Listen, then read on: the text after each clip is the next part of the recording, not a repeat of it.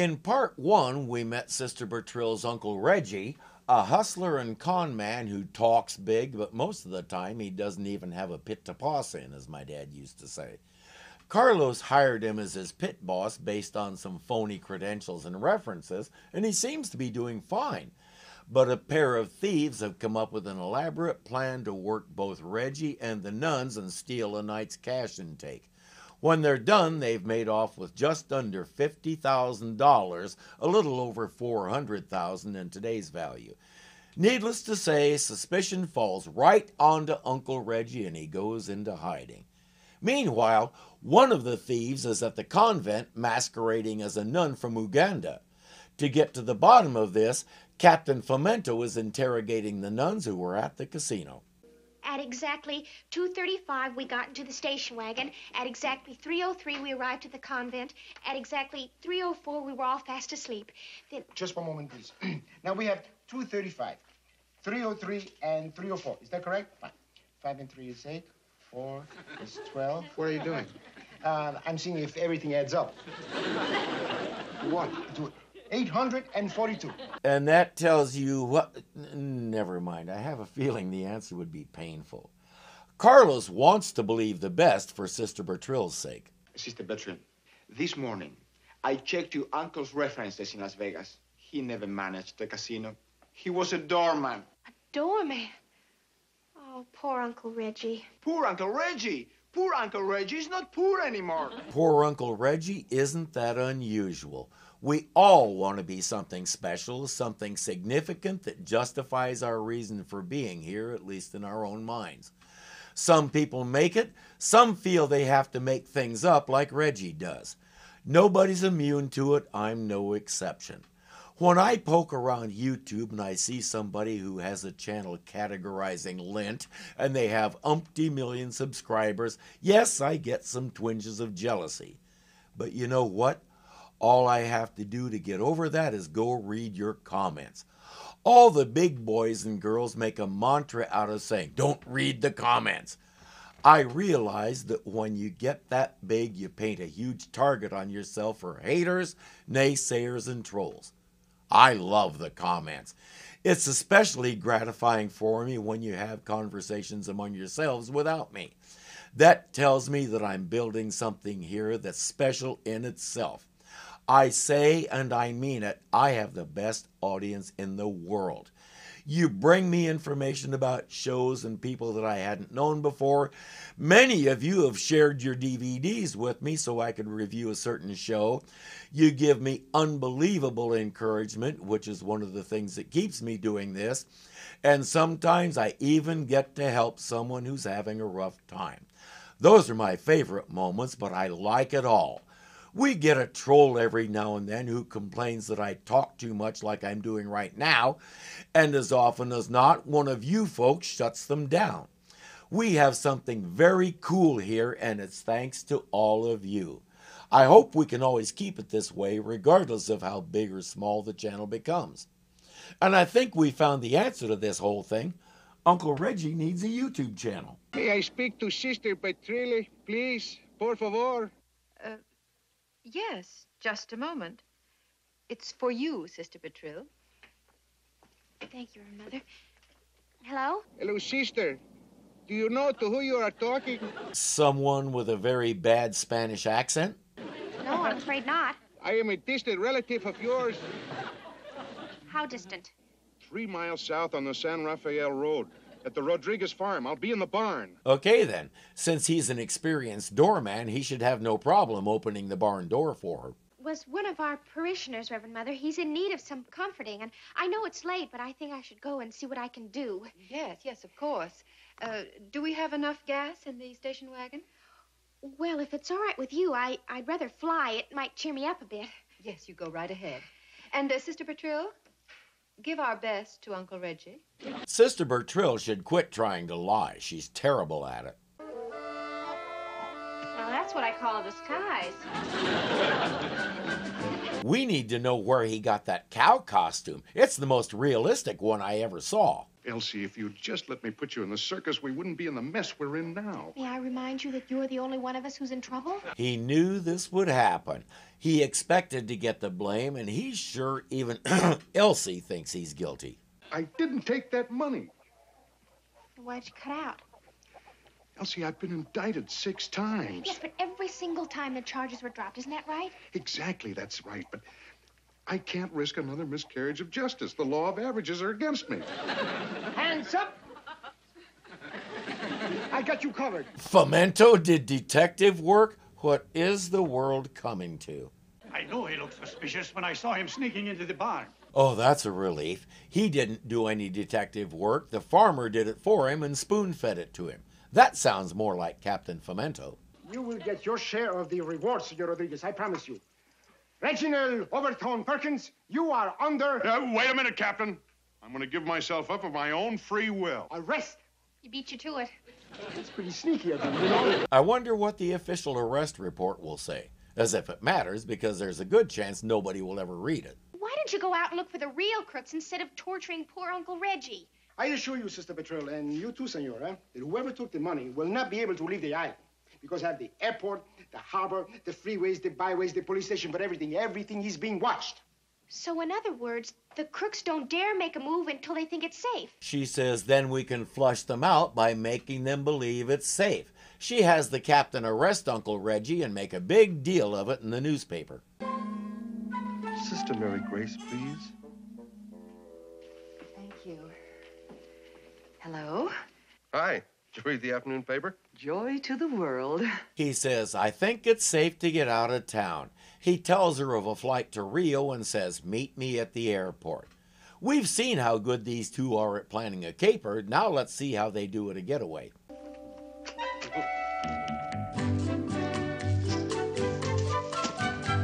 If you put that in some less identifiable bags, you may be able to claim the money came from somewhere else if you get caught. You can't do that with those. Mistake number one.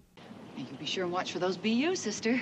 Uh, we won't look for the BUs till we find the C-R-O-O-K. But they did find him. Oh, and I'm sorry he turned out to be your uncle, Sister Betrayal. Oh, oh, no, my uncle didn't do it. Of course not. You just keep believing that, dear. No, it's true. That newspaper story was just a ploy. And that would be mistake number one for the good guys. This reminds me of the average high school football game. The winner is whoever makes fewer mistakes. Sister Bertrille will drive Mary Grace, I have difficulty referring to her as sister because I do respect real nuns, to the airport where Bruce is waiting. Well, uh, we seem to be a little early. Uh, maybe I'll get myself something to read. Oh, I'll get it for you. What would you like? Oh, uh, anything, anything. Of a religious nature, that is. Apparently, she doesn't realize that nuns are allowed to read other stuff, but that will get rid of Sister Bertrille long enough to talk to Bruce. Bruce, we can't go. Relax, baby. Don't lose your nerve now. Come on. No, Bruce, you really need to listen. He won't. CRA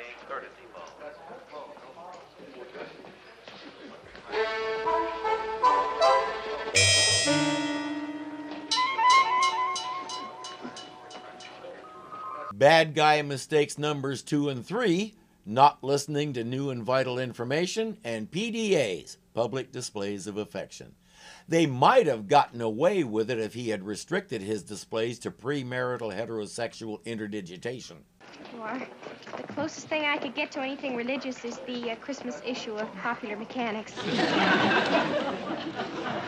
What's the matter? Oh. Oh, Oh, your malaria acting up again? yes. I'm afraid so. And everybody knows it's not safe to fly when you're having a malaria attack. I'm, I think I should go back to the convent for a few more days. Do, do you think they'd mind? Mind us? Oh, they'll go back to the convent where Sister Bertrille will report what she's learned.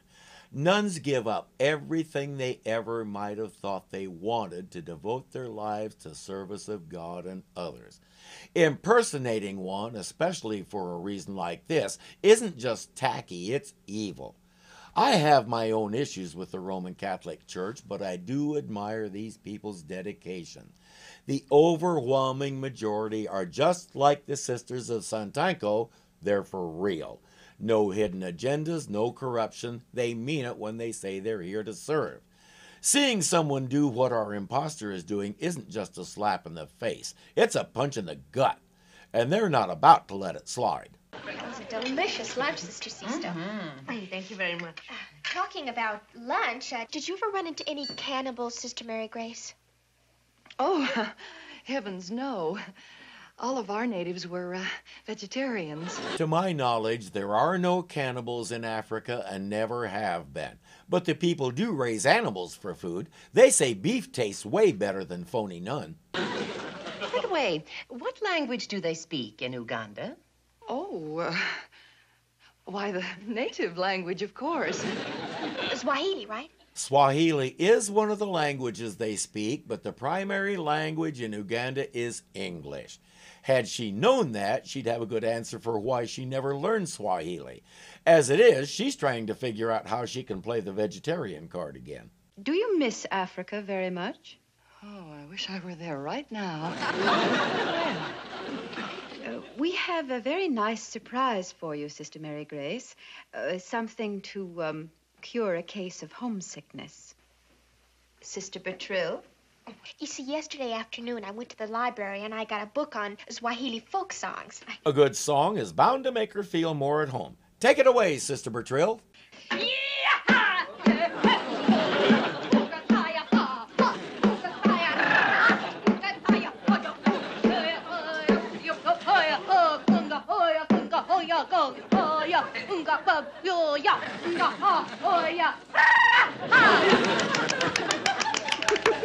Before you ask, I have no idea. I don't know a single word of Swahili, and I suspect Sister Bertrille doesn't either. For all I know, that was a carryover from her cheerleading days or something. You recognize it? Yes, it's a uh, it's a, a very famous folk song, popular in that region. What does it mean? Oh, it means uh, you see, there's it's it's about uh, All she had to say was, No, I haven't heard that one, and she's off the hook. But she's so nervous her brain is locked up like a bad Windows install. Sister Bertrille makes up a cockamamie story about a love triangle, and Mary Grace is going with it. She shouldn't do that. Why don't you join me in an encore? oh Oh, please, please.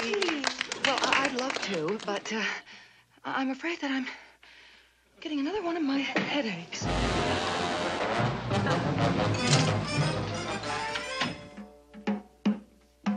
All she had to do there was say, I don't sing. Her brain really is having a blue screen of death. I think it is time to call the authorities. San Juan Weather Bureau? Have you got the right number, sister? And the predictions for fair and sunny. Yeah, well, not around here. I think I've blown it. What? He who is with sin is about to be stoned. He says, I've arranged for a boat to get us out of here. I'll pick you up in front of the convent at 7. We do not have a moment to lose. Where is this so-called sister? You point her out to me, and I will. Yes. Don't you think you're being a little bit premature? I see what you mean. I should alert the TV and the newspapers so that they can witness the arrest, huh? Brilliant, brilliant. Very good thinking, Sister Bertrand. She doesn't have the money, Captain. You want to wait until the two of them are together with the money and then arrest them. If he arrests her now, he has a fake nun who's hot enough that she can probably entice him to let her go. All that gets him is a cold shower. Fortunately, as usual, I have the answer. We will keep our eye on this so-called sister, so that she will undoubtedly lead us to her partner in crime. It's just amazing how he comes up with these things. Oh, I'm sorry. I thought I left my prayer book. Excuse me. There's your subject, Captain. Start detecting. Or rather, Sister Bertrille will.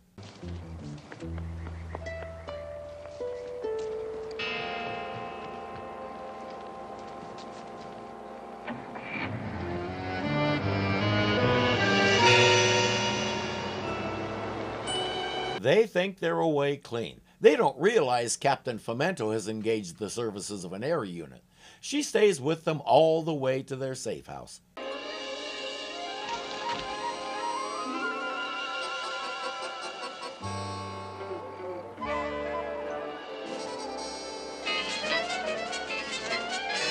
I still say you could have bluffed it through. How? They didn't teach Swahili at Allentown High. As I said, if she had done a little research about the country she was going to mention, it wouldn't have been a problem. But she didn't, so it was. Sister Bertrille will sneak around and try to hear their plans. Now, where'd you get the boat anyway? You'll never guess. Well, I'm not going to try. Where? I bought it from Carlos Ramirez. You're crazy. I, I thought it was kind of cute.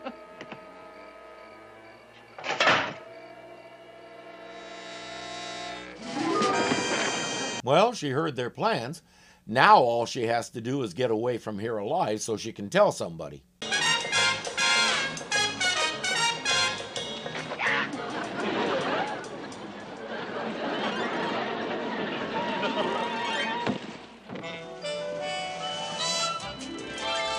That'll give her time to fly away, but while she's doing that, they'll get away. She has a better idea.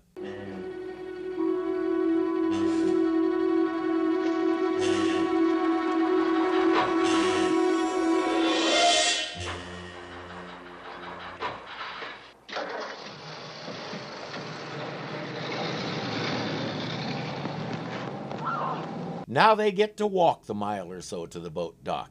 And if Sister Bertrille plays this right, she can probably get Captain Fomento to seize that car and then let her trade the station wagon for it.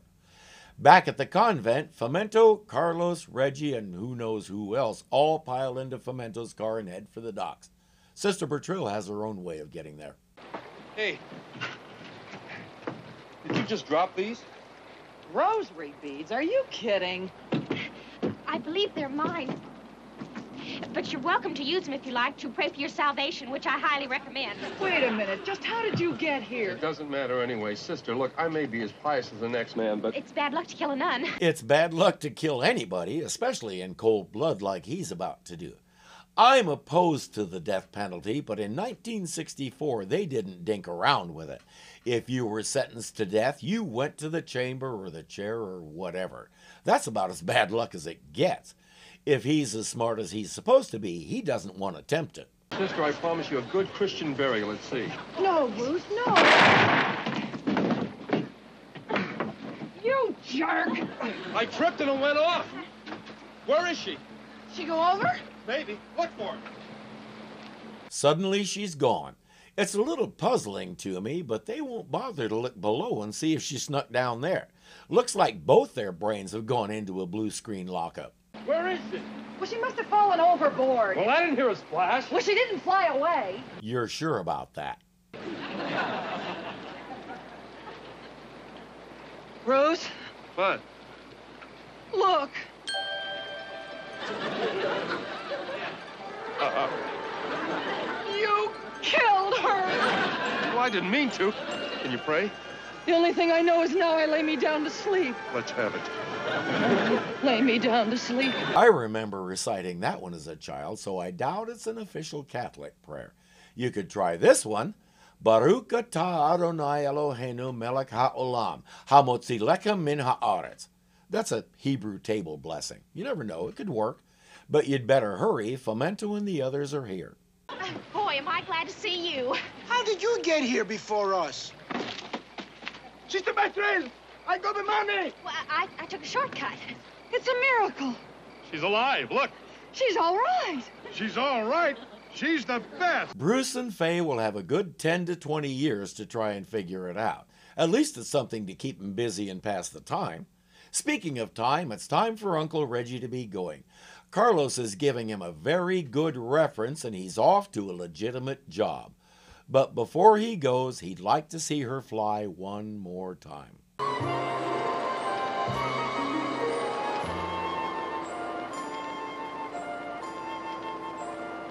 Was I lying? $1,500 a week, top billing, center ring. Did you hear that, Elsie? I heard, and the answer is no. Uncle Reggie is on his way to a better, more legitimate life. but it's going to take a while to get his previous life out of his system. Well, I tried. Goodbye, Mr. Barnum.